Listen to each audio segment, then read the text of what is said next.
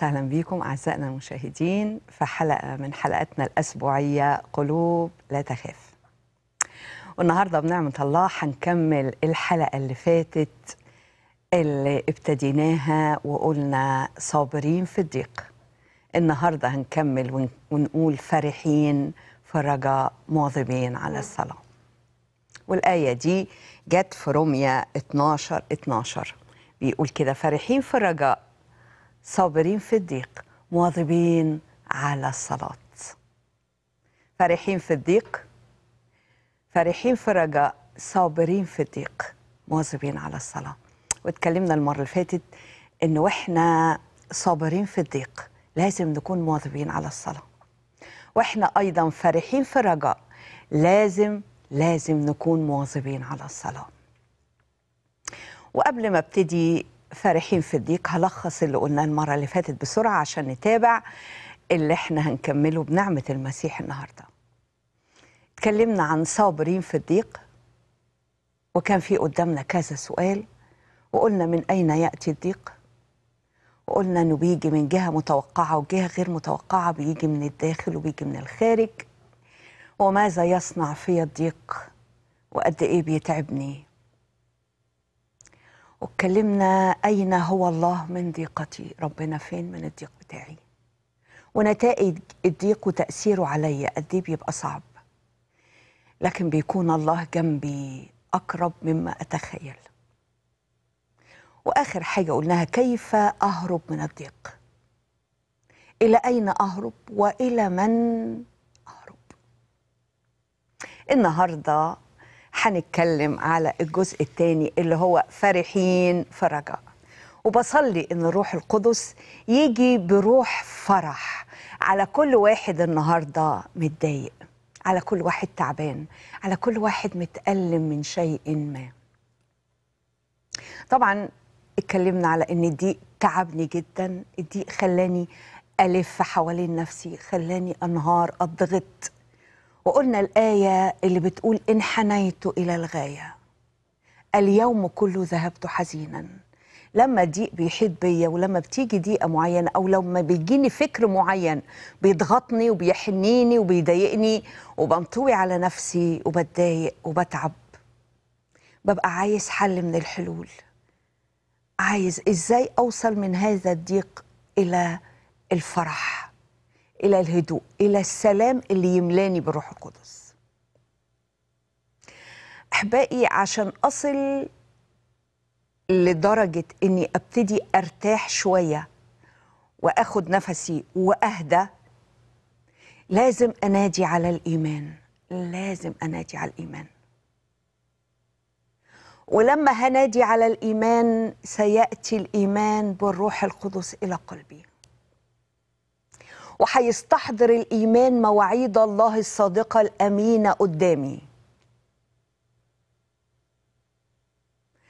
أنا مش قادر أصلي لكن في الوقت اللي فيه بقول للرب انجدني تعالى خلصني تعالى ارحمني.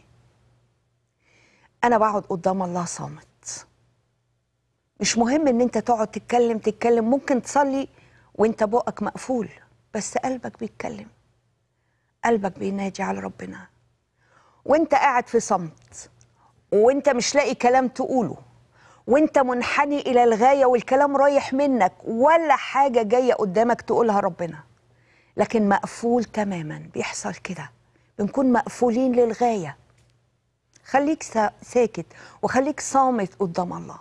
بس خلي الإيمان يفرمل مخك من التفكير. قول له يا روح الله تعالى جوايا خلي مخي يقف شوية عشان أقدر أصلي عشان أقدر أتكلم معاك.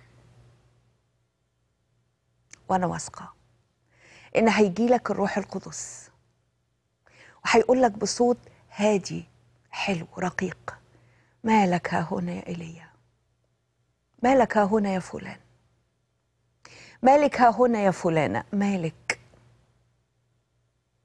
وهيبتدي ينجيني الروح القدس جوايا ويقول لي لماذا أنت منحنية فيا يا نفسي؟ ولماذا تئنين؟ تعالي ترجى الله تعالي تعالي. مالك ها هنا؟ هتلاقي الصوت الهادي. وهيجي الروح القدس ياخد كل الضغط بتاعك ويرفعه للآب فوق يوصل طلباتك لفوق. ويقول له فلان غلبان مش قادر يتكلم مش عارف يصلي لكن جواه كذا وكذا وكذا وتعبان من كذا وكذا وكذا وكذا وكذا ومش قادر يعلن ولا حاجة. جماعة أحيانا ما نعرفش نصلي للرب كما ينبغي لكن عارفين الروح القدس بيشفع فينا بأنات لا ينطق بها. أحيانا كتير لما أبقى تعبانة ومتضايقة بقعد قدام الرب وفعلا بقول له وقف دماغي عن التفكير وأفضل إن. الأنين ده ليه معاني كتيرة.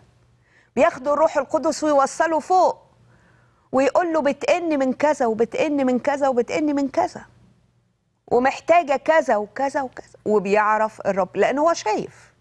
الله يعلم أنكم تحتاجون إلى هذه كلها قبل أن تسألوا. الرب شايف كل وضعي. لكن لسبب ما أنا مريت في الظرف ده. ربما الامتحان إيمان ربما التاديب على عصيان ربما الاختبار هل أنا بحب الرب فعلا من كل قلبي ولا لأ إلى آخره. فالروح القدس بيوصل كل الأنين اللي في داخلنا. لله الأب فوق. وبيشرح له الموقف كله حتى لو أنا مش قادرة أتكلم. وهيهمس جوايا ويقول لي ما تنحنيش. سلم للرب طريقك واتكل عليه وهو يجري. صدق صدق إن هو معاك وإنه هيتمجد في المشكلة بتاعتك. لما هلاقي الهمس بتاع روح القدس جوايا هتشجع. ههدى شوية. هلاقي فعلا زي في نار مولعة وانت جايب خرطوم مية وجاي على النار دي كلها بيهدي وبيطفي فيها. وبتهدى. أنا بيحصل معايا كده. وبلاقي نفسي هديت في محضر الله حتى وأنا صامتة حتى وأنا ساكتة خالص. أبتدي أهدى أهدى شوية وأبلع ريقي كده واستجمع نفسي. والروح القدس عمال يهمس جوايا والإيمان بيستجمع مواعيد الله ويجيبها قصاد عينيا. فببتدي أفوق وأنتعش كده شوية وأهدى. وبعدين بروح أقول له بقول له أنت شايف أنت شايف ضيق حياتي أنت شايف كرب ذاتي أنت شايف الضغوط اللي عليا مش محتاج أشرح لك تفاصيل أنت عارفها كل أموري أنت عارفها كل ظروفي أنت كشفها يا رب زي ما بتقول الترنيمة. فحاجة أقول له أفرج ضيقات قلبي من شدائدي أخرجني يا رب. تعال أفرج ضيقات قلبي تعال طلعني من الشدة اللي أنا فيها. مزمور 25 17 محدش هيقدر يطلعني غيرك. فكرت كتير. انطويت على نفسي زي ما قلنا المرة اللي فاتت. حزنت. حاولت أحلها بنفسي. حاولت أفكر كتير كتير وأوجد حل واثنين وعشرة وإن ما ينفعش ده هينفع ده وما ينفعش ده. وكله باء بالفشل. لكن بقول له كمان من أجل اسمك يا رب تحييني عشان خاطر اسمك تحييني بعدلك تخرج من الضيق نفسي. تعالى طلعني من الشدائد بتاعتي. هيقول لي حاضر. هيقول لي يا ابني أنا معكم كل الأيام. أنا مش بتركك أنا جنبك. أنا هعين ضعفاتك. أنا هعدي بيك الأح... المحنة والأزمة اللي أنت فيها دي. هعديها معاك. أنا شايف كل ضيقات نفسك وهتراءف عليك كما يتراءف الآب على البنين. بجد يا رب بجد صحيح يقول لي طبعا. يقول لي ليس الله إنسان فيكذب يا ابني ولا ابن آدم فيندم. هل يقول ولا يفعل؟ هل يعد ولا يفي؟ تصدق إن أنا أكون كده؟ أقول له لا يا رب لا عمرك ما كنت كده. ده السماء والأرض تزولان لكن حرف واحد من كلامك لا يزول.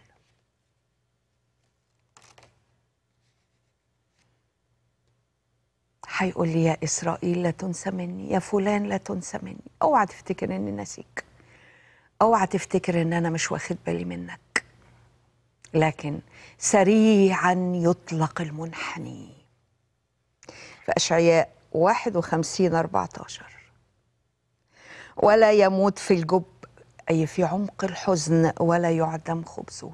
سريعا سيطلق المنحني. الله الله على الآية دي. الانحناء بتاعي هيروح طبعا طبعا. سريعا يطلق المنحني وما يفضلش في الجب بتاع الحزن بتاعه ومش هيعدم الخبز بتاعه. آه. الله. أفرح بمواعيده. اللي بيجيبها الروح القدس بالإيمان لقلبي. والاقي فيه ابتسامة عريضة جت على وشي. وأقول له يا رب منطقتني فرحا. هللويا. أنت منطقتني يعني حزمتني بحزام الفرح.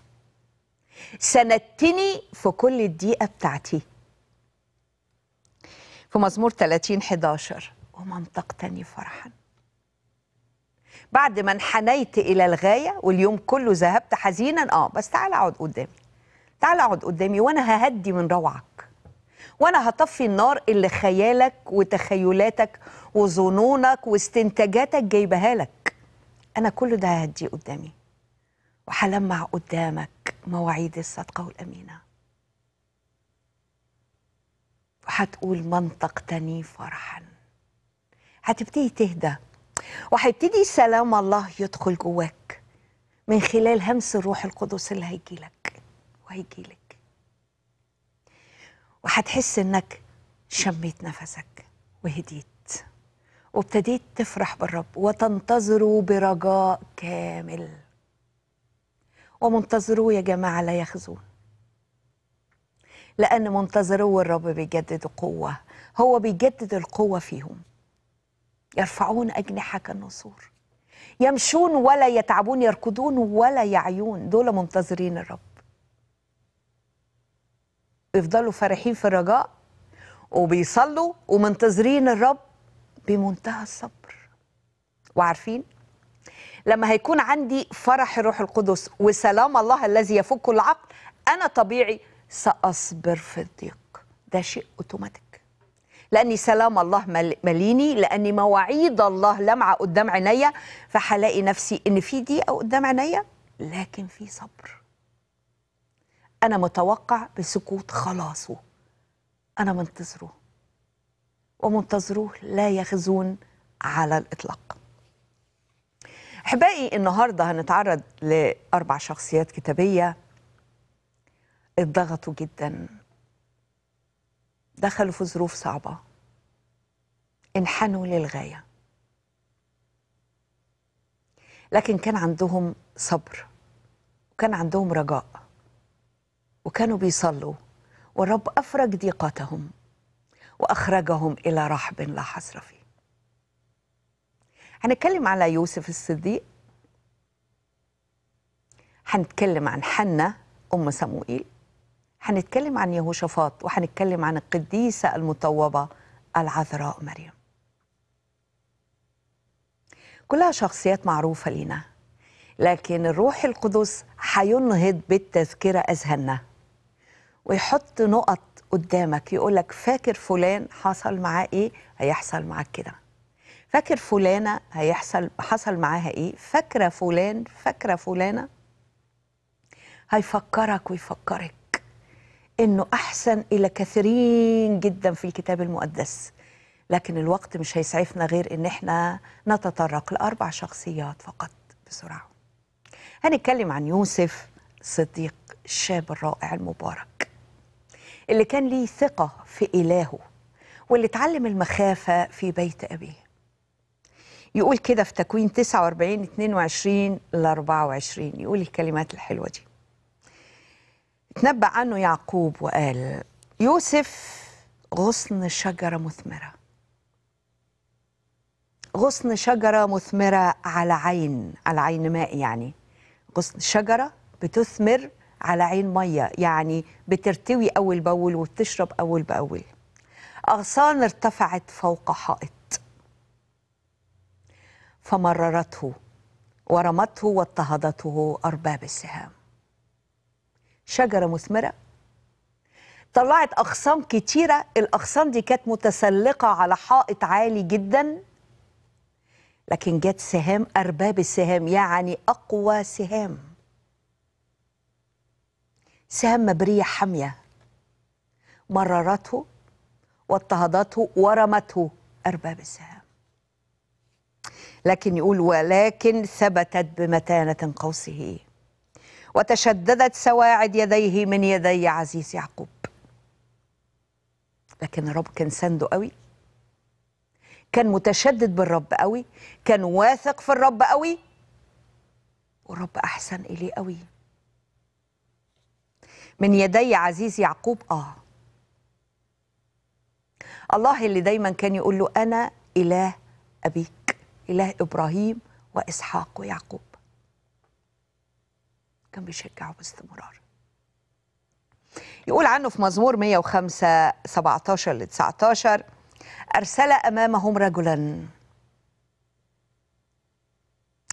اللي مر فيه يوسف ده كان امتحان وتجهيز وإعداد للمملكة اللي هيبقى مسؤول عنها بعد فرعون. كان امتحان وتجهيز آه. كانش ينفع ياخده من بيت أبوه الطفل المدلل علشان يدير أكبر كانت مملكة في العالم في شعب مصر. ما كانش ينفع. كان لازم تشكيل وإعداد وده اللي بيعمله معانا الرب. بيشكلنا بيعدنا. فعلا بيدخلنا في ضيقات بيدخلنا في ضغوط شديدة. وبعدين بيطلعنا لرحب لا حصر فيه وبعد التشكيل بيستخدمنا وبيباركنا. وبيتمجد في حياتنا. مش ده اللي بيحصل ده اللي بيحصل. فبيقول في مزمور 105 أرسل أمامهم رجلا. الرب كان عارف إن في مجاعة جاية على الأرض. بيع يوسف عبد. آذوا بالقيد رجليه. في الحديد دخلت نفسه.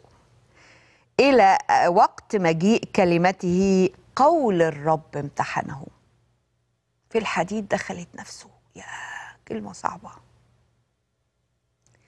لكن كثيرين في الأيام دي أحبائي نفوسهم محبوسة في قفص من حديد. قد تكون في سجن المرض. قد تكوني في مرض شديد جدا لا تستطيع احتماله. قد تكون في ضائقة مادية. قد تكون في اضطهاد في العمل في الشغل.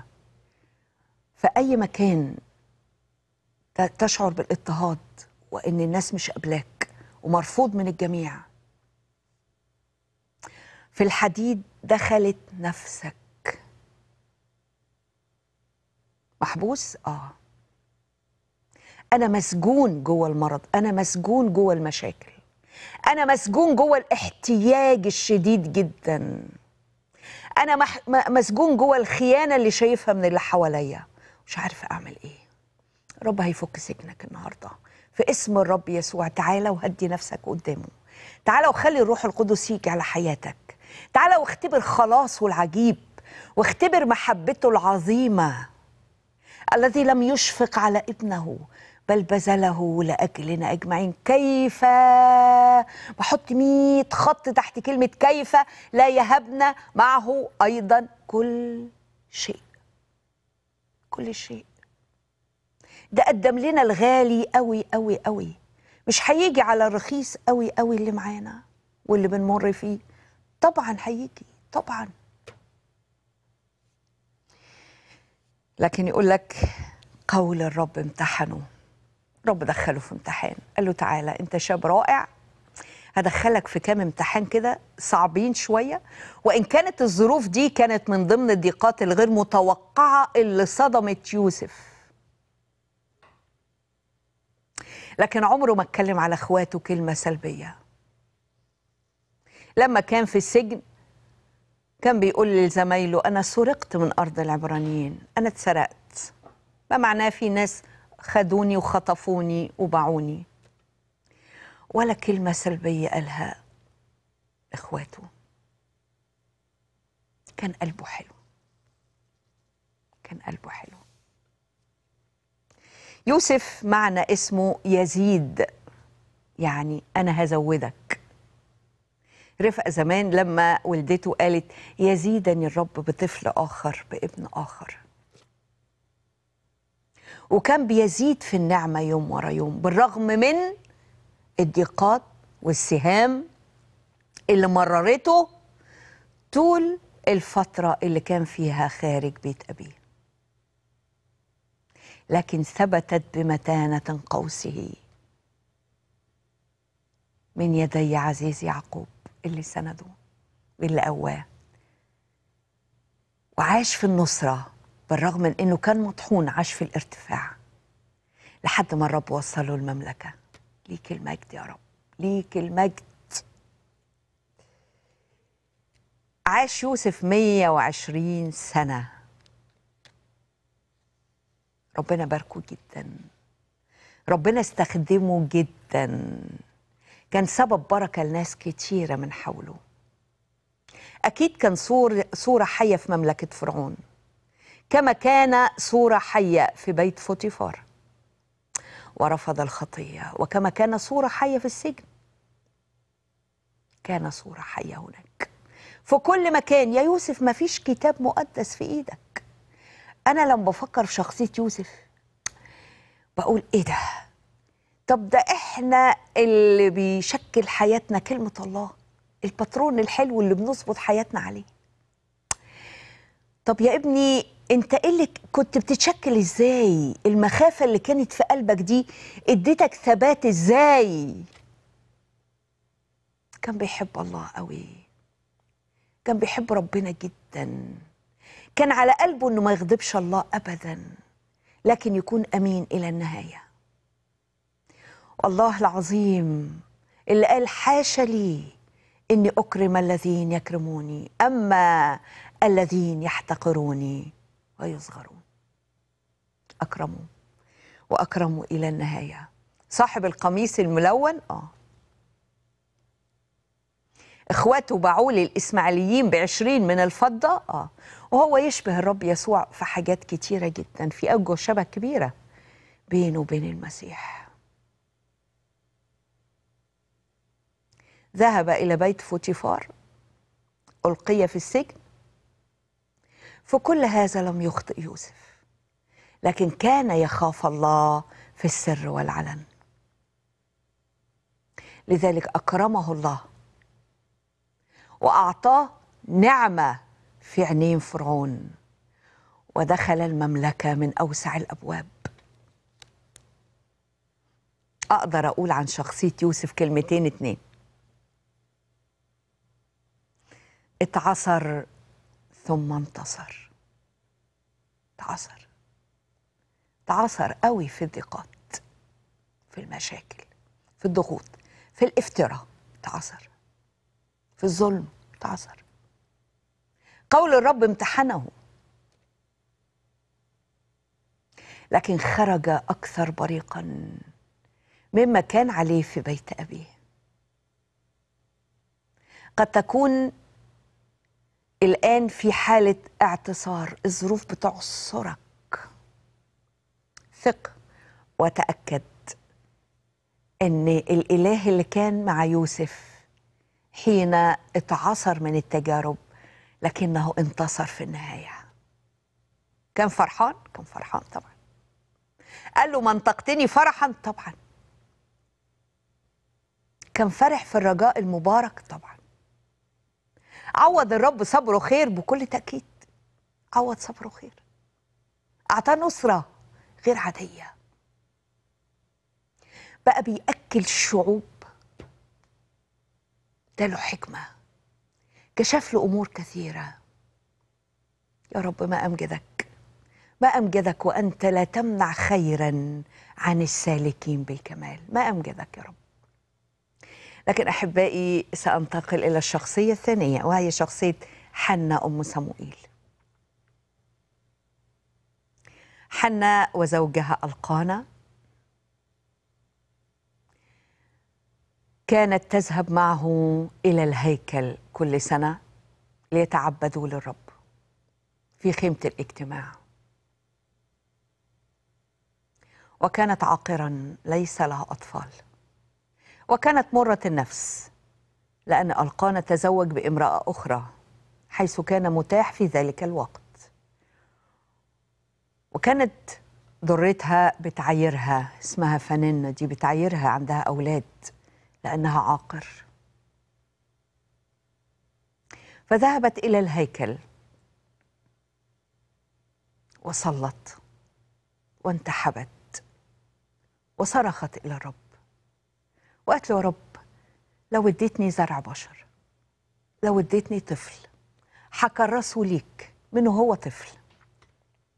هرده لك تاني عشان يبقى خادم ليك كل أيام الحياة. هخليه نذير للرب وهبعته لك تاني. كانت بتصلي من غير صوت بس شفايفها بتتحرك دموعها نازلة قلبها بيصرخ. متألمة جدا مرة النفس عندها ضيقة شديدة. فوهي بتصلي في صمويل الأول واحد خمستاشر. عالي الكاهن. مر عليها. قال لها انزعي خمرك عنك. انت سكرانة ولا إيه؟ إيه اللي انت بتعمليه ده؟ هو مش متعود يلاقي ناس بتصلي ودموعها نازلة وبتصرخ للرب من كل قلبها حتى لو بصوت واطي قوي بتحرك شفايفها. فقالت له الكلام ده أجابت حنا وقالت لا يا سيدي إني امرأة حزينة الروح. ولم أشرب خمرا ولا مسكرا بل أسكب نفسي أمام الرب. الله على الكلمة دي. عايزة وقفة كبيرة. ولا بشرب خمرة ولا مسكر. أنا بسكب نفسي قدام الرب. أنا باجي أتذلل لعله يرضى ويعطيني ما أرجوه. الكلام ده هزه الكلام ده فرق معاه جدا. فرد عليها في عدد 17 و 18 من صمويل الأول الأصحاح الأول برضو وقال لها اذهبي بالسلام بسلام. وإله إسرائيل يعطيك سؤلك الذي سألتيه من لدنه. قال لها اذهبي بسلام والرب هيديكي سؤل قلبك يا بنتي. أدم بتسكبي قلبك أمام الله. أحبائي محتاجين جدا إن إحنا لما نيجي قدام الرب. واحدة مرة قالت لي لما باجي قدام الرب بسرح. وبعرفش أصلي.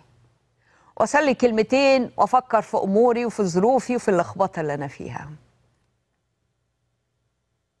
محتاجين نسكب قلوبنا أمام الله. ما نحطش راسنا على البنك كده ونيجي نصلي ونوطي راسنا ونروح في وادي تاني. ونلعب في التليفونات. أنا بشوف للأسف ناس بيعملوا كده. في فترة الصلاة يكونوا بيبصوا على التليفون. شيء يزعل. وعدم احترام كامل لحضور الإله الحي داخل الكنيسة. لكن الرب يعلمنا ان إحنا في محضره في بيته خارج بيته في أي مكان حينما نصلي نسكب قلوبنا نحترم صاحب المكان نحترم الإله اللي إحنا واقفين قدامه حتى في بيوتنا وبنصلي. نكون بنحترم حضوره وإحنا بنطالب إنه يباركنا وإحنا بنطالب إنه يفك ضيقتنا وإحنا بنطالب إنه يخرج من الحبس نفوسنا ومن الحديد نفوسنا. لازم نعمل كده يا جماعة. لازم نحترم حضور الرب في أي مكان. عشان الرب يقدر ان إحنا موجودين معاه بالروح والحق. لأن الله روح والساجدين له فبالروح والحق ينبغي أن يسجدوا. عايز تسجد قدام ربنا؟ يبقى تسجد بالروح والحق. مش عايز؟ بلاش. مش مشكلة. لكن لما تيجي قدامه لازم تحترم حضوره. في المكان اللي انت فيه. فقال لها ربنا هيديكي إله إسرائيل يعطيك سؤلك الذي سألتينه من لدنه. اذهبي بسلام وإله إسرائيل يعطيك سؤلك الذي سألتيه من لدن. يقول ثم مضت المرأة في طريقها وأكلت. كانت مش راضية تاكل.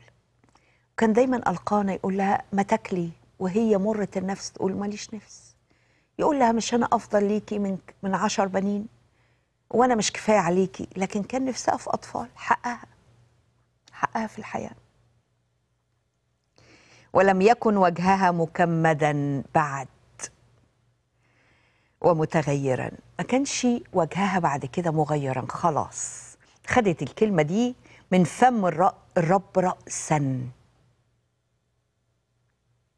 هذه الشخصية المرة النفس. عارفين؟ عارفين إن بعد كده على طول الرب اداها صموئيل وهو ثلاث أربع سنين وديته الهيكل وتربى في الهيكل وقدمت لنا صموئيل النبي الكاهن العظيم والقاضي في إسرائيل والنبي أيضا. كاهن وقاضي ونبي وكان نذير الرب من طفولته. مش بس كده ده حنا الرب اداها بعد صموئيل ثلاث أولاد وبنتين. اداها خمسة. يعني هي جابت ست أولاد. ثلاث أولاد غير صموئيل وبنتين جابت خمسة. وصموئيل السادس. أكرمها. لأنها سكبت قلبها بأمانة أمام الله. بصلي إن الرب يجي على مشكلتك ومشكلتك. ويحول نوحك لفرح. وتقول له يا رب فعلا أنا بنتظر برجاء وبفرح استجابتك لصلاتي. أيها الإله الذي منطقتني فرحا. فرحين في الرجاء صابرين في الضيق واظبين على الصلاة. تصلي قدامه وتنتظره بإيمان وتنتظره برجاء وتنتظره بثقة البنين. لأن من ذا الذي يقول والرب لم يأمر؟ الرب مش بينبسط قوي ان يسيب ابنه في مذله لكن في وقت معين لازم يجاوب على سؤالك. بطريقة ما وبشكل معين هو شايفه أفضل. ممكن تكون طلبتك لا تمجده وهو شايف إنها مش هتنفعك بكرة هتنفعك النهارده بس بكرة هتأذيك. ممكن هيستبدلها بحاجة تاني أنفع ليك وأفضل ليك وأعظم ليك. كتير قوي بصلي وبقول له أشكرك على حاجات منعتها عني طلبتها بإلحاح وصممت عليها فترة. لو كنت اديتاني كانت اذتني جدا. أشكرك على ما منعت يا أبي. أشكرك. لأن ما منعته عني أعظم بكثير مما منحته لي. كنتش هستحمله. قلت له لو كنت اديتني كذا وكذا ما كنتش استحملها كنت هتعب كنت هضيع. ما أعظمك يا رب. لما يمنع عنك حاجة ما تزعلش. هو مجهز لك حاجة أفضل وهيديها لك في وقتها. وإلى أن يأتي هذا الحين افرح بيه. افرح بيه. وانتظروا بثقة البنين. إن إلهك حي مش هيبخل عليك. صدقني مش هيبخل عليك. لأنه إله أمانة لأنه إله رائع لأنه يعطي الجميع بسخاء ولا يعير. الناس لو ادونا حاجة بيعايرونا بيها العمر كله. وكل ما يشوفك فاكر ولو عملت غلط مش أنا اللي وقفت معاك مش أنا اللي عملت معاك كده مش أنا اللي جبت لك كذا عايرونا كتير. لكن أبوك السماوي يديك ويقول لك خد خد خد. افرح. وافرح بصنيعي معاك. وافرح بيدي الممدودة ليك بالخير والإحسان. أحبائي هننتقل للشخصية الثالثة بسرعة. شخصية يهوشافاط يهوشافاط كان ملك رائع ملك بيحب الرب جدا. و وكان ابن الملك آسى اللي كان بيخاف الله جدا وتربى في بيت كله مخافة فكان شخص تقي جدا وشال كل السواري. وكل الحاجات بتاعت أنبياء البعل وطهر الدنيا خالص في أيام الملك بتاعه اللي كانت باقية من ناس كانوا ما زالوا بيعبدوا البعليم فهو طهر الأرض من. في الوقت ده وبعت ناس لويين وكهنة يعلموا الشعب شريعة الإله. فكانوا الناس بيمشوا يعلموا الشعب اللويين والكهنه إيه هي الشريعة ويشرحوا لهم الكتب ويفهموهم إيه هو عبادة الله الحية. ولو إن يهوشافاط عمل غلطة عارفين روعة الكتاب المقدس؟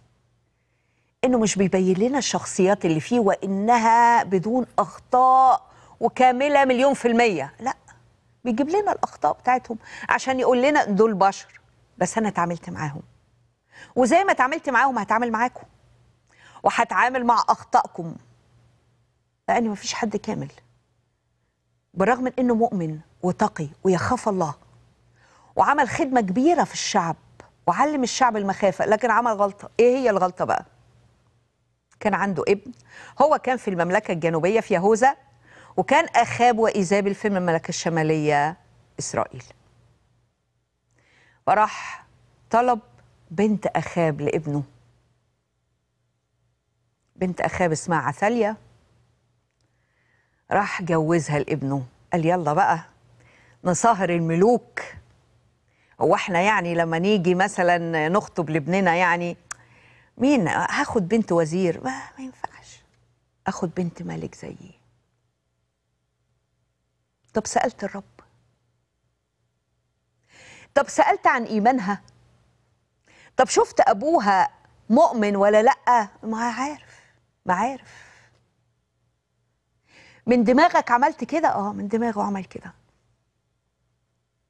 وجي أخاب كان هيحارب الأراميين ويسترد رموت جلعاد وقال له أنا هحارب آجي أحارب معاك. وجيشي مع جيشك يلا ما إحنا نسايب وعيلة واحدة. واختلط الحابل بالنابل. أولاد الله مع الأشرار. ليه يا ابني كده؟ ليه ده الكتاب بيقول المعاشرات الرديه اجتنبها؟ لا تكونوا تحت نير مع غير المؤمنين. كان هيموت في الحرب دي اللي راحها مع أخاب. لولا إن عناية الرب أنقذته بمعجزة. ورجع للمملكة بتاعته. بس في جيوش ثلاثة جم عليه. ولان هو المملكه بتاعته صغيرة قوي. خاف وترعب وصرخ واتخض. ثلاث جيوش جايين علينا إحنا. وإحنا مملكة صغيرة قوي. آه. لازم يجي وقت كده يروح الرب شادد عشان نصرخ عشان يسمع صوتنا. عارفين قلما في أيام الرحب والسعة في ناس بتبكي وتصرخ للرب لأجل الخطى لأجل عمل الله. مش كتار مش كتار في بس مش كتار. لكن هات كده مشكلة تيجي وتزنق على حياتي. آه يا رب. طب أنا من زمان قدامك. مش بتصلي ليه؟ مش بتحكي معايا ليه؟ مش بتقترب الي ليه؟ ليه؟ ده أنا بقول لك هلما نتحاجج يقول الرب. تعالى نحكي مع بعض. تعالى نتكلم تعالى اتعلم مني. تعالى خليني أفهمك أمور كتيرة. تعالى خليني أستخدمك. ما تجيش قدامي إلا لما أزنق عليك وأدخلك في دقيقة. طب ليه؟ بنعمل مع ربنا كده. بس على فكرة في ناس قديسين بيحبوا يقعدوا معاه ويقولوا أشبع إذا استيقظت بشبهك. ويبقوا فرحانين بالقعدة مع الرب. صرخ يهوشافاط. صرخ الشعب. في أخبار الأيام الأول 2012 قالوا له يا رب لسنا نعلم ماذا نفعل. هنعمل إيه؟ لكن نحوك أعيننا. هنروح فين يا رب؟ هنروح فين؟ هنعمل إيه في اللي إحنا فيه؟ والناس اللي ممكن تيجي تفنينا وتضيعنا وتاخدنا عبيد ليهم. بس الرب في أمانته.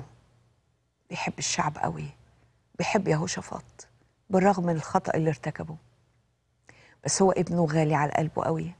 راح بعت له حد من اللاويين اسمه يحزائيل اللاوي أرسله الرب ليهوشافاط عشان يطمنه. وقال له كده في أخبار الأيام التاني 20 17 قفوا اثبتوا وانظروا خلاص الرب. لا تخافوا ولا ترتاعوا لأن الحرب ليست لكم بل الله. خلاص. حزائيل جاله قال له اسمع قل للشعب لا تخافوا لا ترتاعوا. قفوا اثبتوا اثبتوا. وانظروا خلاص الرب. لأن الحرب اللي جاية دي مش بتاعتكم. الله يحارب عنكم. الله يدافع عنكم. هيحارب عننا كده وإحنا صامتين؟ آه هو قال كده. بعد كده فرحوا والخوف اتبدد. وعظموا الرب ابتدوا يسبحوا. وطلعوا للحرب بيسبحوا ويرنموا ويهتفوا ويهللوا. الله ده الجيوش جاي عليكم الحرب ليست لنا. هو هيتصرف. هوب التلات جيوش دول اتقلبوا على بعض ضربوا بعض فرتكوا بعض أفنوا بعض. أفنوا بعض؟ آه. وهم بيتو... واقفين بيتفرجوا. يدافع عنكم وأنتم صامتون فعلا. أخذوا نصرة من غير ما يدخلوا حرب. ده داخلين بيرنموا. وخدوا كل الأمتعة بتاعتهم في وادي بركة وعظموا الرب. وفرحوا. فرحين في الرجاء. لكن بسرعة هنتقل للشخصية الرابعة مريم القديسة العذراء المطوبة. اللي قال لها سمعان الشيخ وأنت يجوز في نفسك سيف. سيف لما رأى الصبي يسوع وهم داخلين الهيكل وكان الرب أعلن ليه وقال له يا سمعان أنت مش هتموت إلا لما تشوف مسيح الرب. شوف مسيح الرب قال آه لما شاف الصبي عرف إن هو ده مسيح الرب. شاله على إيديه. وقال له يا رب اطلق عبدك بسلام لأن عيناي قد رأت خلاصك. خلاص أنا شفت مسيح الرب. بس قال لمريم الكلمة الصعبة دي وأنت يجوز في نفسك سيف. سيف. سيف. أنا أم المخلص ده. عمانوئيل أنا؟ قال لها آه. وقد كان. شافته في آلامه المرة. شافته وهو بيموت قدامها. شافته وهو بيتعذب. شافت آلام الصليب كلها. لابنها ضناها. آه شافته. كان بيقول لها يا امرأة. كانش بيقول لها ماما. لأن هو ابن الله. هو أتى منها بالجسد. لكن في الواقع هو المسيح ابن الله الحي. الظاهر في الجسد. كان يقول لها مالي ولك يا امرأة لم تأتي ساعتي بعد في عرس قانا الجليل. وكان يقول من يسمع كلامي فهو أخي وأختي وأمي أنا كل قرايبي اللي بيسمعوا كلامي. وعلى الصليب قال يوحنا يا يوحنا هو ذا أمك.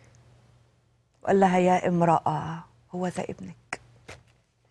وأخذها يوحنا إلى خاصته للعيلة بتاعته عاشت معاهم. بس عارفين مريم اللي جاز في نفسها سيف. ساعة الصليب كانت واقفة عند الصعود. شافته لما قام وعرفت إن هو المسيا المنتظر. فرحت بقيامته. وشافته هو صاعد للسماء. والملاكين بيقولوا لهم يسوع اللي صاعد ده الذي رأيتموه صاعدا سيأتي ثانية كما رأيتموه منطلقا إلى السماء. شافته ورجعت مع التلاميذ بفرح عظيم. بعد السيف اللي جاز في نفسها آه. ويقول في سفر الأعمال أصحاح واحد عدد 14 بعد هذا أي بعد صعود المسيح. رجعوا من جبل الزيتون كلهم هي والتلاميذ والمريمات كلهم وكانوا يواظبون بنفس واحدة على الصلاة لأن الرب قال لهم امكثوا في أورشليم إلى أن تلبسوا قوة من الأعالي. وكانوا يواظبون على الصلاة بنفس واحدة مع النساء ومريم أم يسوع ومع إخوته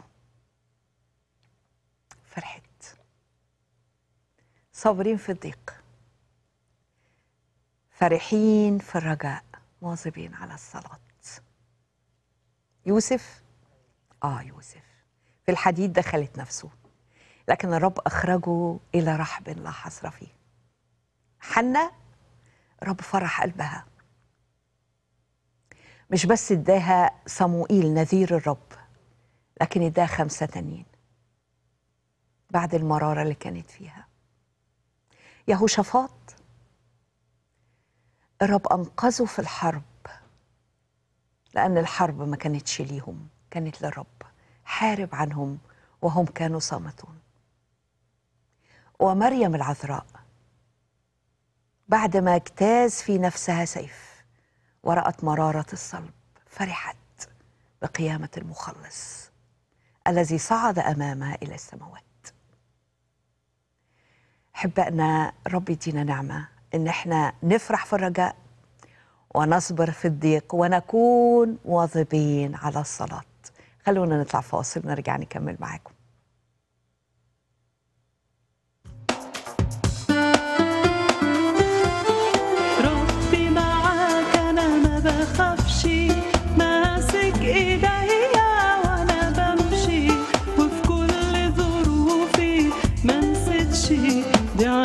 Oh.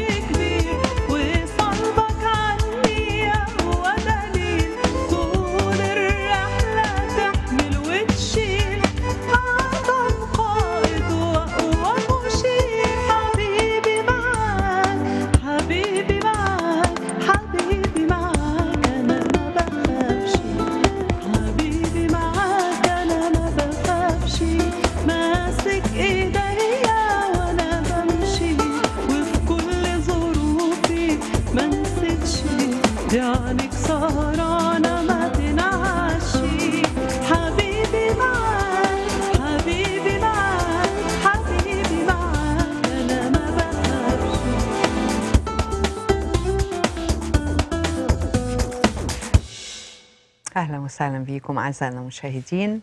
وطلبات الصلاة والاستجابات. النهارده على قلبي قوي نصلي لأولادنا الشباب. آه، جاني كذا تليفون النهارده لأجل الصلاة لأجل أولادنا الشباب. ناس كتير منتظرة الرب في أولادها. ناس كتير منتظرة الرب في أولادها. عايزين نصلي إن فعلا الشيطان ما يحاربناش في الأولاد. في اسم يسوع.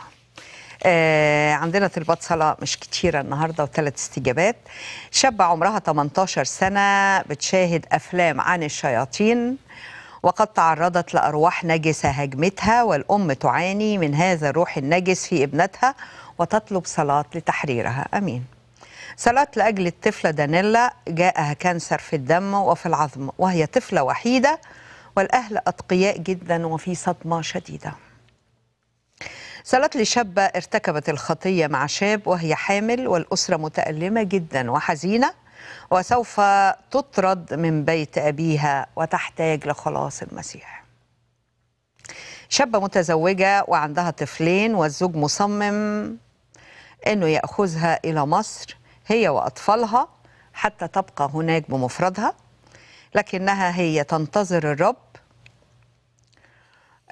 أن يأتي ويخلص زوجها من هذا الأمر. صلاة لطفلة 15 سنة لكن تفكيرها زي طفلة ثلاث سنوات وهي تعبانة جدا ومش بتنام ومش عارفة تعبر عما في داخلها وعندها روح خوف شديدة معوقة بتفكر زي طفلة ثلاث سنين وهي 15 الأخت نبيلة عملت جراحة قلب مفتوح وتنتظر الرب لإتمام شفائها لأن عمرها 73 سنة سيدة في مصر عندها ورم في المخ فمع إنه حميد إلا إنها تعاني من صداع شديد جدا وعندها حفل زفاف ابنتها قريبا تحتاج للمسة الرب الشافية. آه، في أسرة في مدينة ملوي أسرة مسيحية أرسل لهم الإرهابيين تهديدات بخطف أولادهم أو دفع فدية لأنهم مسيحيين. آه، الاستجابات آه، اتصلت اتصلت كنت بسأل على واحدة كنت بسأل عليها فلما طلبت أتاري أنا بطلب على السلفون بتاع جوزها أنا مش واخدة بالي فرد هو. فبقول له أنا أسفة أنا كنت عايزة أطلب المدام وكده. قال لي لا ده أنت ربنا خلاكي تتصلي بيا. فبقول له ليه خير؟ قال لي أنا واقع في مشكلة كبيرة قوي أنا صيدلي و... والأجزخانة بتاعتي دي في مكان يعني في مكان كبير في بيت مسنين كبير قوي. و... وأنا ضاع مني 2500 خ- قرص مخدر اختفوا من الأجزخانة.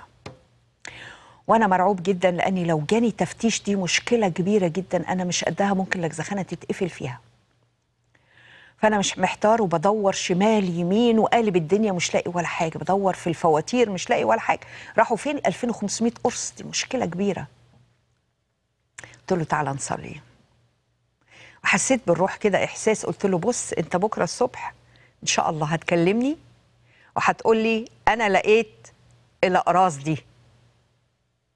قال لي كده؟ قلت له آه. قال لي آمين. صلينا مع بعض. وأفاجئ إنه اتكلم تاني يوم قال لي يا أخت سلوى أشكر الرب مع إني كنت قلبت الدنيا ودورت في كل الورق والفواتير. لكن لقيت الأقراص مش عارف إزاي. قلت له هو ده الإيمان. هو ده الإيمان. أشكر الرب. آه، أخت كان ليها 12 سنة بدون أطفال. اتصلت وصلينا مع بعض رب أكرمها بطفلة جميلة دلوقتي عمرها تسع شهور. كلمتني قالت لي إحنا صلينا مع بعض الرب أكرمني. والبيبي بقت سنها تسع شهور. جات لنا استجابة النهارده آه، واحدة بتقول كانت بتطلب صلاة ليها سنة مش بتشتغل. كنت طلبت صلاة لأجل شغل لأني كنت بدون عمل لمدة سنة. لكن الرب استجاب وجدت عمل رائع بالمواصفات التي طلبتها تماما. بالمواصفات كلها. مجدا للرب. رب صالح جدا يفعل معنا أمور فوق خيالنا. لأنه اله رائع. بيستجيب الصلاة. بس عايز مننا شوية إيمان. أمين رب يدينا إيمان.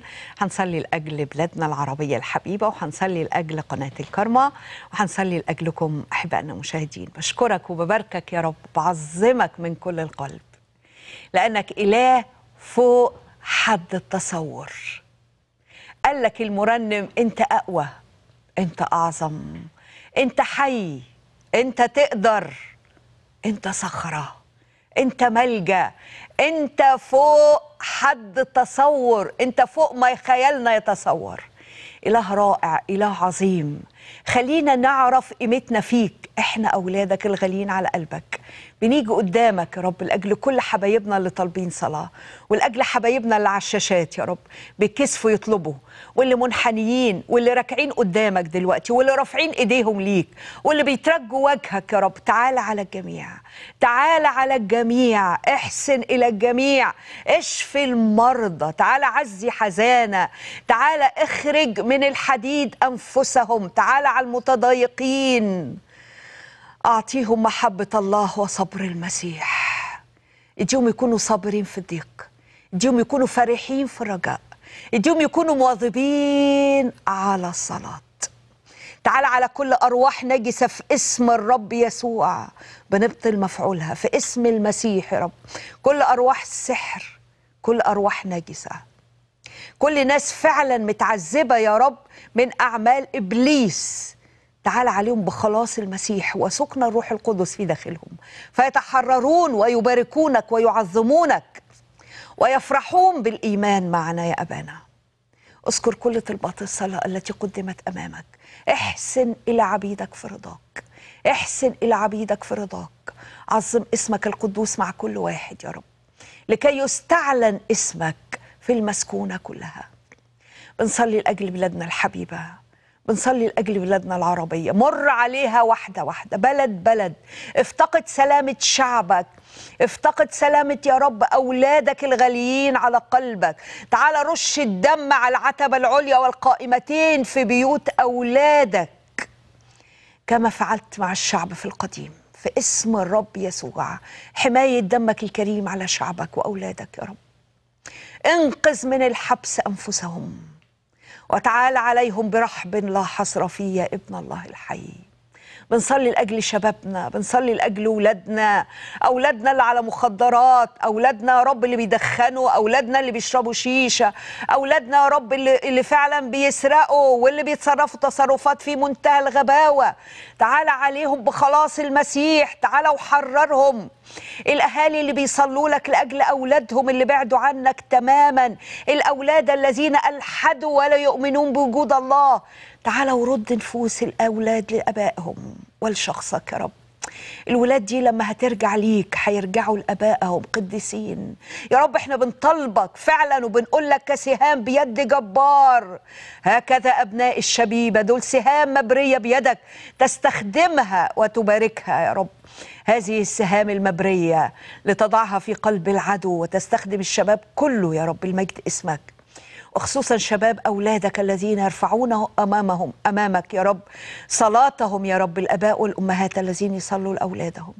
بركة خاصة لقناة الكرمة إحسان إلهي ليها. حامي عنها حارب عنها غطيها بدمك الكريم سدد كل احتياجاتها. في اسم ربنا يسوع نشكرك لأنك سمعت واستجبت. لك الكرامة ولك كل الحمد امين أمين مجدا للرب. هاليلويا. فرحين في الرجاء صابرين في الضيق. مواظبين على الصلاة. صلي كتير عشان تاخد فرح وعلشان رب يديك صبر. أشكركم أحبائنا المشاهدين لأجل متابعتكم معنا نلتقي بكم في حلقة أخرى. إن أحيانا الرب لكم ملء البركة والنعمة. والرب معكم.